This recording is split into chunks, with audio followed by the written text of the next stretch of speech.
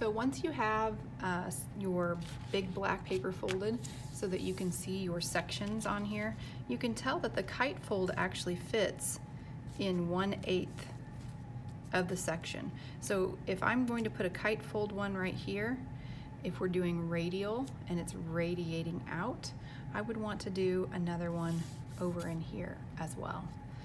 With the samurai fold and the hat fold, that's actually a quarter of the design.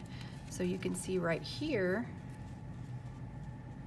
that fits into a quarter of the paper. Same thing with the hat fold. It's one quarter. So when we go to start attaching these to our paper, we have to be really careful that we're matching them up very evenly. Okay?